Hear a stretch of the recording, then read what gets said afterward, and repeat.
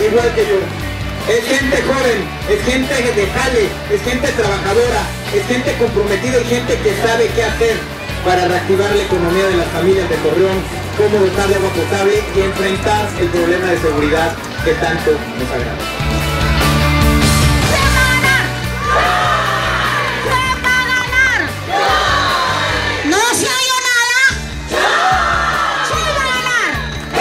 Precisamente a ganar este 7 de julio porque vamos a hacer las cosas bien. Porque estamos diciendo ya no más colonias sin agua, ya no más jóvenes sin futuro, ya no más miedo. Lo que nos está pidiendo toda la gente de Torreón precisamente es que arreglemos todos estos problemas y por eso estamos aquí. Porque lejos de hablar y hablar yo, el día de hoy en esta Asamblea Ciudadana serán ustedes los que propongan cuáles van a ser las obras que quieren en sus colonias.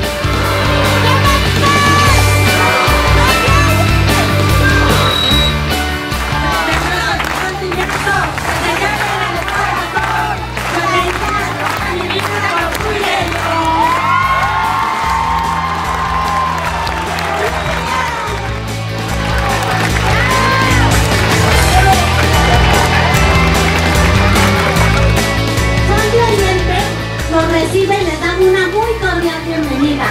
Y recuerda que este 7 de julio, juntos de la mano, te, te llevaremos al triunfo, porque tú eres el